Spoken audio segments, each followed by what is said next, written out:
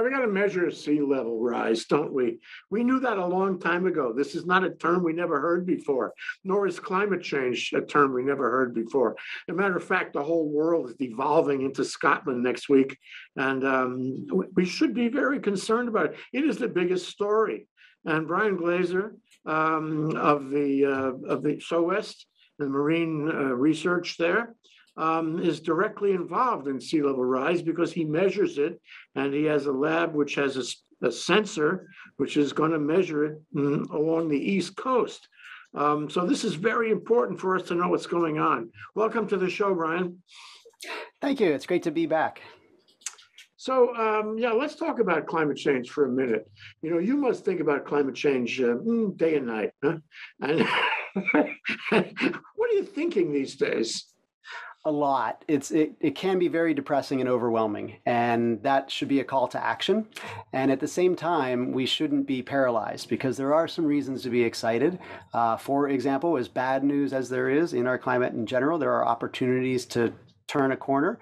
And there's a really interesting and pretty um, exciting opportunity to blend some of the technologies that have been developed in the last five years, even that we didn't have access to 10 or 30 years ago when we started to realize climate change would be a problem.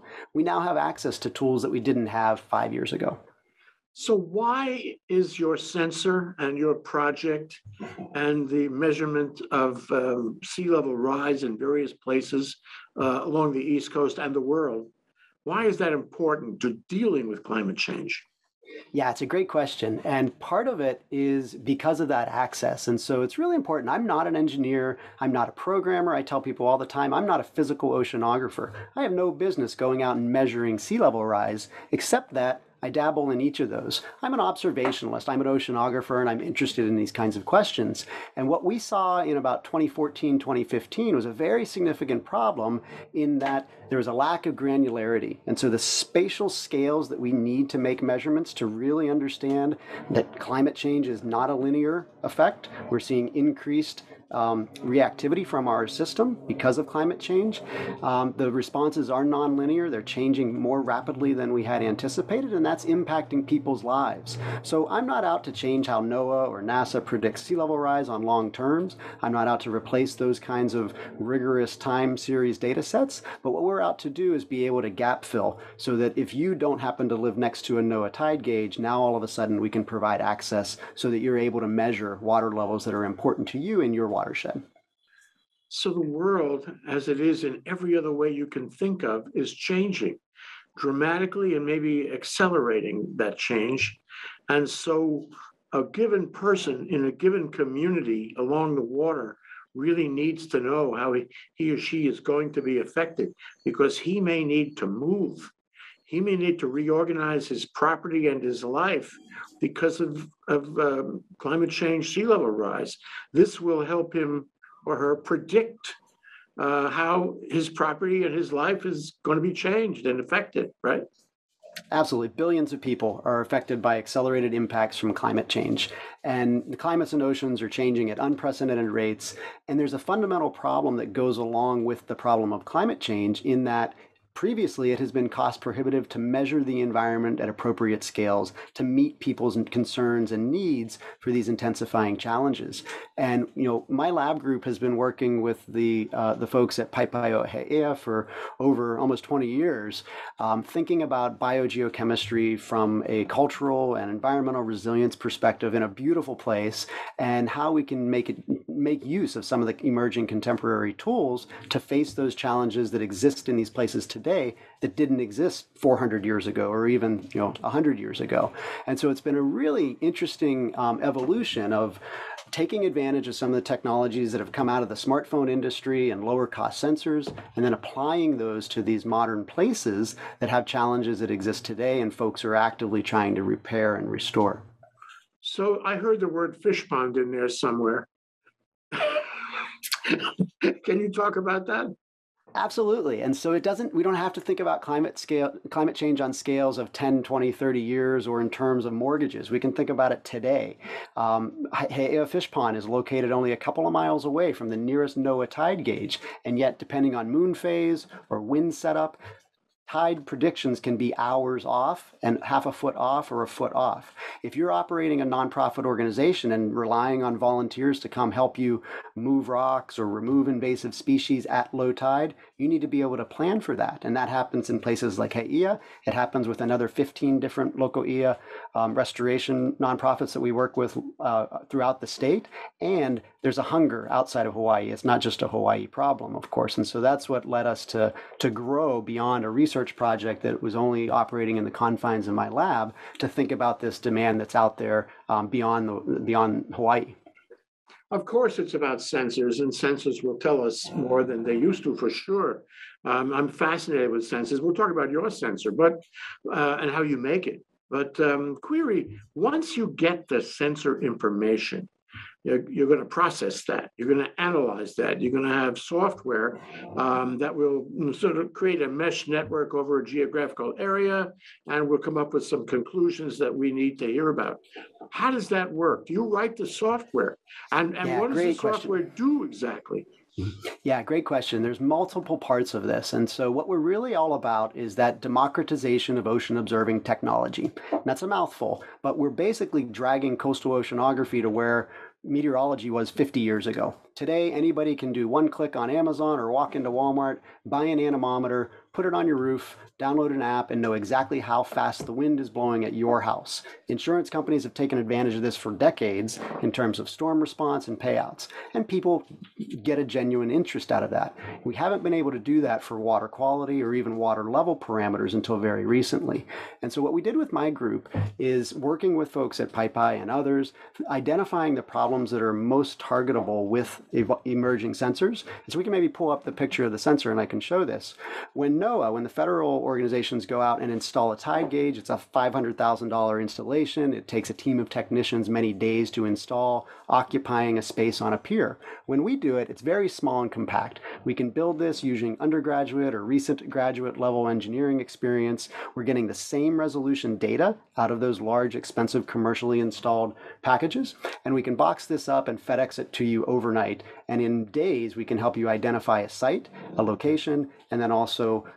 um, how to install these, and then give you the URL. So, what we're really trying to do is bring that whole experience that we do all the time in academia in oceanography labs identify the problem, find the right sensor and right tool to do it, telemeter data through the cloud back into a server so the customers don't have to worry about this, and then provide access to that through a web enabled uh, URL. So making it the whole process very easy. We're not stopping there, right? I mentioned that the sensor data that we're getting is just as rigorous and just as accurate as, as more expensive solutions.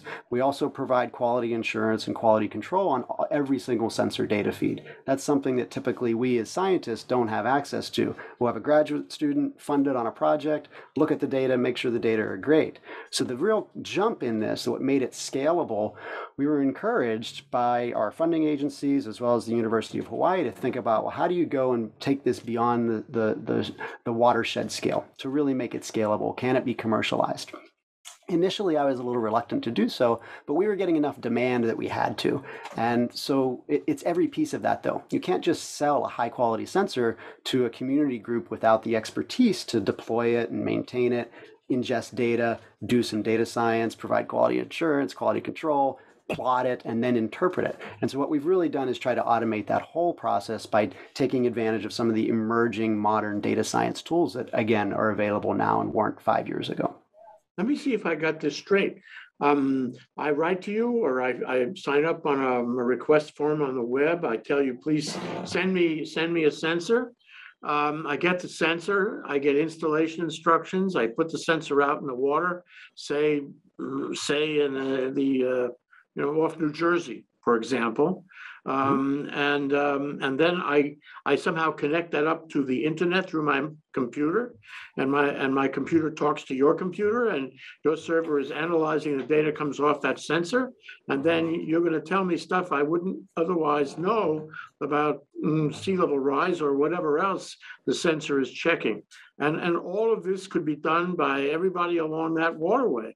And so you Exactly. have, your, it's a distributed data collection, isn't it? And everyone could be involved, right? It is. And it's even easier because you don't have to hook it up to the internet. It's cellularly connected in most places. And so you literally just provide the installation, set it up, and we're making sure that the data are coming in of high integrity, and then we distribute that to you, as well as predictions. So now not only do you have real-time sensor data in a place that previously didn't exist, but you also have predictive analytics to go along with it, so that you can say, all right, we know NOAA is really good at saying, hey, October 16th, there's going to be a king tide event, right? What NOAA fail, falls short of is saying, well, how bad is it going to be at my road or my backyard or my place of work or business? That's where we can help to gap fill with not only real time measurements, but also those predictions.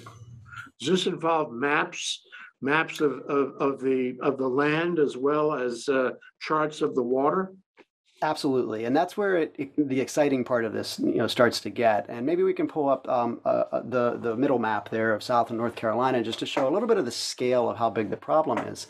Um, I mentioned that we were getting a lot of demand for this. Once I would go and give a talk at a you know an academic research um, conference, and three or four people would come up and say, "Hey, we need sensor data for tides at our location," and it expanded from there. What you're looking at here is about a 400 mile stretch of coastline from North and South Carolina, and it might be a little hard to pick out, but what you'll see is maybe about seven or eight blue pins. Those are those are your tax dollars at work. Federally installed NOAA tide gauges over a 400 mile coastline. NOAA only maintains about 300 of them nationwide. Right? So there's just not enough funds to maintain all of those expensive stations. All of the purple pins are now ones that we've been contracted by cities, counties, municipalities, nonprofit uh, organizations, environmental restoration groups, environmental consultant firms, aquaculture groups who say the same thing. Look, we love what NOAA does, but the nearest NOAA tide gauge isn't good enough for us to do work and react to the intensifying changes that we're seeing from climate change. So we've been federally contracted now. This is a project that's in cooperation with NOAA's Integrated Ocean Observing System Southeast region, um, who is now working in partnership with 54 different communities and have contracted us to actually provide that data. So we work with the stakeholders who actually say the mayors who are waking up at 3 a.m. wondering, hey, is my town flooding? Do I need to deploy sandbags or emergency services? We work with the nonprofits who are engaged in environmental restoration projects. And ultimately, there's a huge value in these large aggregate data sets for insurance industries, reinsurance, real estate, right? All of these other um, non-government and commercial kind of higher growth markets are also um, going to start to awake to the idea of episodic flooding from king tide events, from storm surges, from rain events, from sea level rise, like they have done for wind events over the past 10 to 15 years. Suppose my name is Joe Doakes and I care a lot about climate change and I want to do something. I want to be part of the effort to deal with it. And I, I write to you or I call you, I say, Brian, I, I would like to have one of these things. I'll pay for it um, and I'll install it and I, will feed the data back to you. Um, and on that map you just showed us, then I could be another another node, couldn't I? I could be feeding data into your larger analytic uh, and helping you. And so it would it would be um, if you wanted to care about things and be community minded, you could do exactly that and participate in the effort against climate change. Am I right? Absolutely. And so maybe we can pull, go ahead and pull up the website so, so folks can see hohonu.io. And so you can go there and drop us a line. And what we do is we work with stakeholders who are concerned, who are saying, you know, the nearest NOAA tide gauges aren't, aren't close enough. We identify the watershed with users. This is what we do as researchers, academic researchers. We come up with a data collection strategy with those stakeholders, and then we help them through that deployment. We take care of all the data delivery, give you a URL so that you're able to actually just focus focus on what are my data saying, and then we also offer, offer some uh, uh, additional um, you know, accurate predictions and proactive response options. If you know your watershed as well as we hope you do, you know it way better than we do. And you know that when you have a plus seven foot tide at Folly Beach, that's going to be some flooding and you're going to need to deploy sandbags. But what we're now able to do is provide the accuracy in the error bars to say, well, how bad, how close are we getting to this? And do that three, five, seven days in advance. Who are these people? Uh, it's an amazing team. We've been very deliberate in making the decision to launch Hohonu. Hohonu is a private uh, a public-private uh, partnership that launched from research in my lab at the University of Hawaii. The University of Hawaii is a partial equity owner, and so it's in the best interest of our state to try to push forward and do something about episodic flooding. And, and uh, to UH's credit, they were quick to, to recognize that. Um, we have uh, Nicole Elko is a co-founder and um, a, a great friend of mine from, from back in high school and college days. She's a, a rock star of coastal geologists. She's one of only three civilian advisors to the Army Corps of Engineers, and she's located in South Carolina. Uh, without her, I never would have been able to launch this endeavor. Likewise, Stanley is my lead engineer. Um, he's an RCUH employee. He's a co-founder of the company with me. Again, we wouldn't have launched this endeavor without him. He's an amazing engineer. He can build anything, hardware or software, and he doesn't sleep. He's just absolutely amazing. I can't say enough good things about him.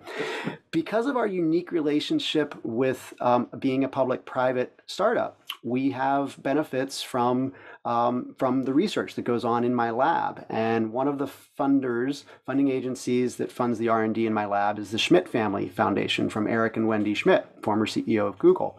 And so they also fund uh, a data science institute that's based at the University of Chicago. And so Dan, Daniel Grazenda was another photo there. He served, he's, he's responsible for serving the data science needs for a lot of different Schmidt family grantees. He likes us a lot, and he also serves as our lead data scientist. So he's the one taking care of the background analytics analytics as well as some of the front end.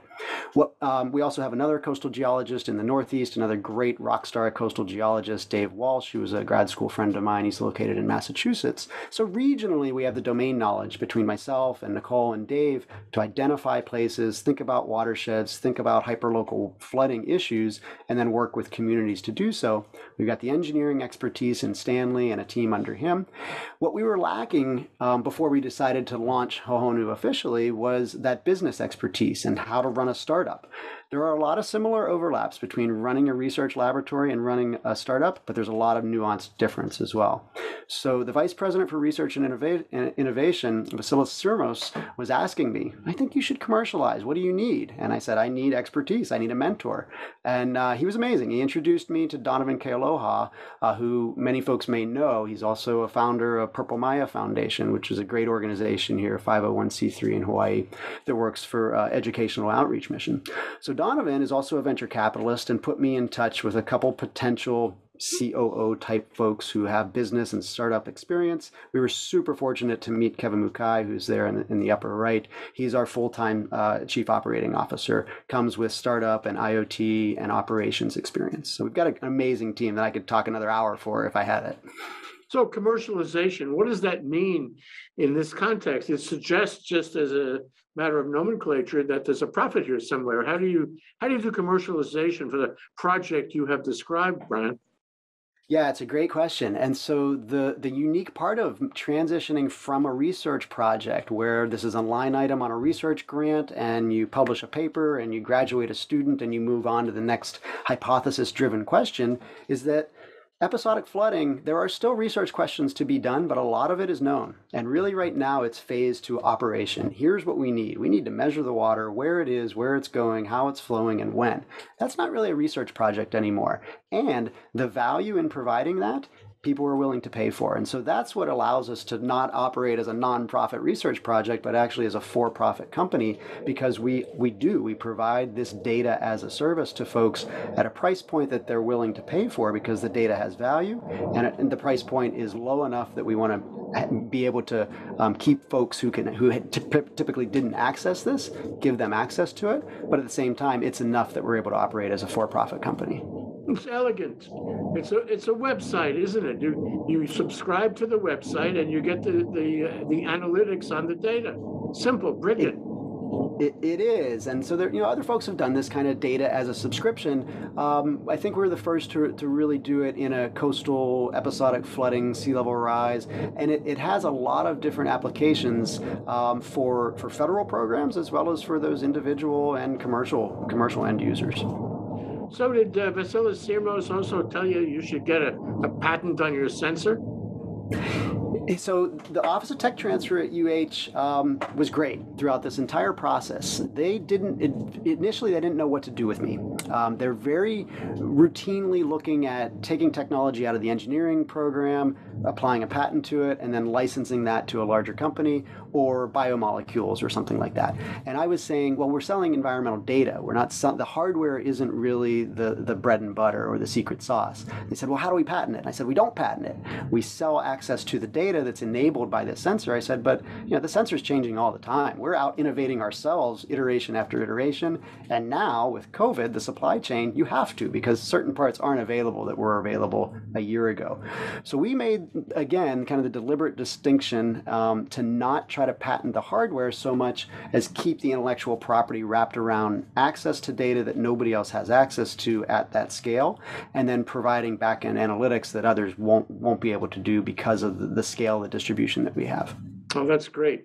Uh, looking back, looking back at the sensor for a minute, you have one with you. Can you can you show us the uh, components of the sensor? Yeah, absolutely. And this is, um, you know, our first iteration. We started down this pathway in about 2000, 2015. Uh, some of those are still working today, um, but we've gone over a lot of iterations. I guess if I hold this right in front of me and we won't get blurred out.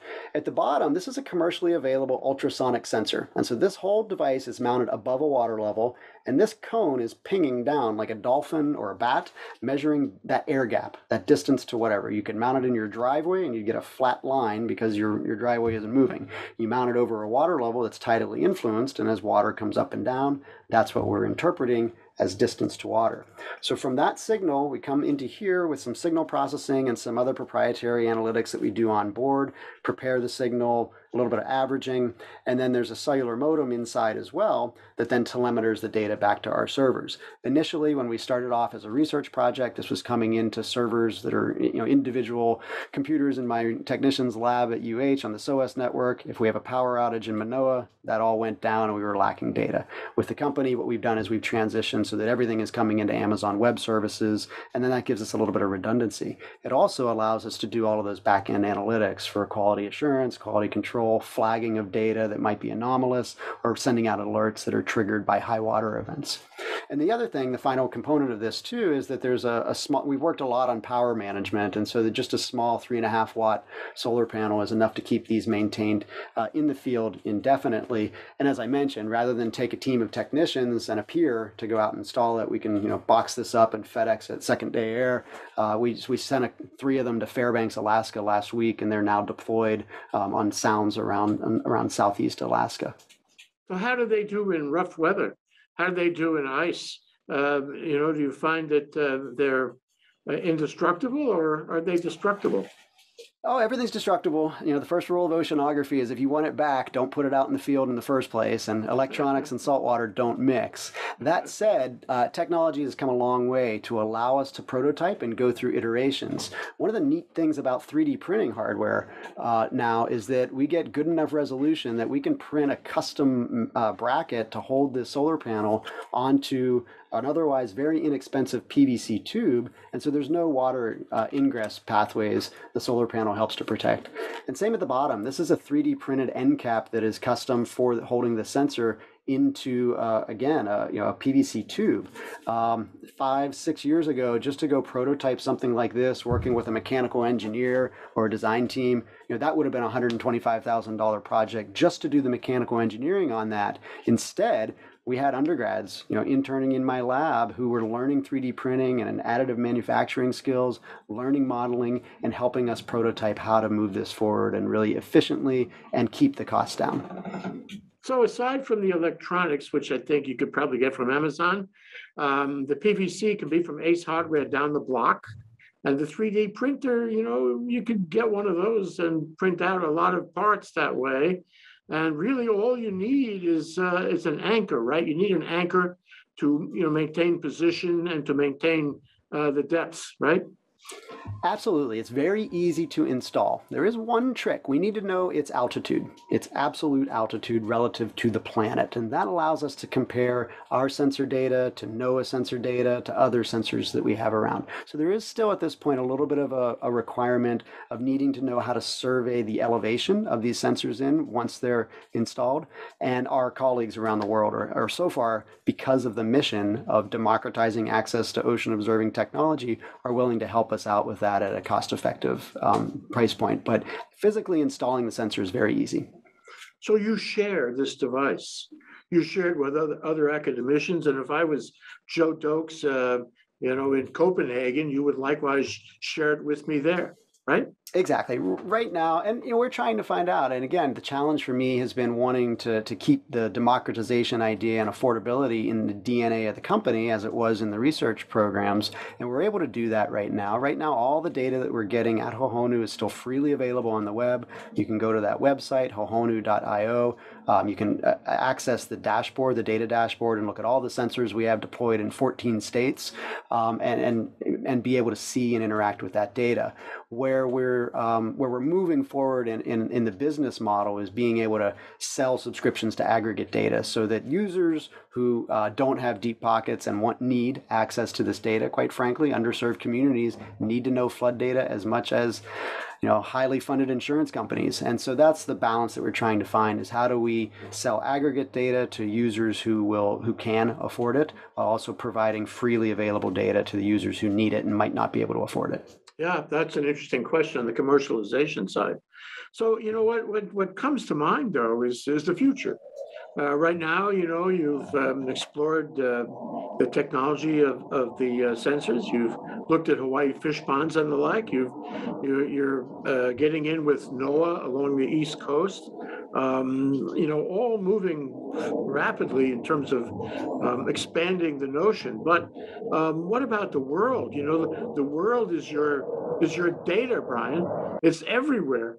Uh, how how are you going to get everywhere? Are are you planning to get everywhere, and how are you going to do that? Yeah, absolutely. And just like it's not just a Hawaii problem, it's not just a U.S. problem. And in many places, it's even worse outside of the U.S., especially throughout Pacific Island nations. We're working with American Samoa right now to find funding to deploy 50 of these sensors throughout the American Samoa Islands. Um, we have plans to, we've already been getting demand from, from other international partners. Part of the challenge is, um, you know, a little bit of the tech stack to change and modify a couple of things that we'll need for different cellular providers in international markets. We are raising a, a round of funding right now as a startup to, to be able to uh, to be able to deliver on some of those. What a great project! So let me ask you to. Um, you know, to mm, to answer this question and to leave the message you want to leave with our viewing public. Number one is why should they care about this startup? Why should they care about this technology? And then how, you know, what message would you leave with them to carry away right now? Yeah, great question. And so, you know, my day job is still the same. I'm a professor of oceanography at the University of Hawaii, and we launched a startup based upon technology that we developed in my lab with student help and with technician help from UH. And so, you know, UH doesn't get the same kind of reputation that a Stanford or an MIT or a Berkeley do for launching startups, and environmental tech and climate tech right now is hot, and it's one of our strengths at UH. So I think there's a lot of opportunity for two things to innovate in this problem of climate change that goes beyond solving research problems and solving applicable problems. And I think it also, specifically with Hohonu and what we're trying to do, is keep it in Hawaii rather than move a company like this to California. You know, all of the, the values that I was taught by working in fish ponds are still ingrained in the DNA of Hohonu. We want to keep it here. In 17 years at UH, I can only think of a few of my students who have landed jobs here in Hawaii. And so if we can start to diversify an economy with with climate tech here in Hawaii. How great would that be? Very great. Very great. Brian Glazer, University of Hawaii, professor of oceanography, research, marine research, and uh, the, the progenitor of Hohonu, Hohonu uh, a startup that we are going to hear much more about in the years to come. Thank you so much, Brian. Thanks a lot for having me, Jay. Take care. Aloha.